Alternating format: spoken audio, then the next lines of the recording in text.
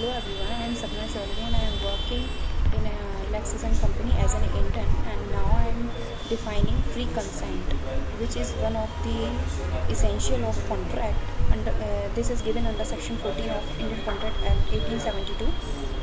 which says consent is said to be free when it is not caused by coercion as defined in section 50 second one is undue influence as defined in section 16 or fraud as defined in section 17 misrepresentation which gives under section 18 and fifth one is mistake subject to provision of section 20 21 and 22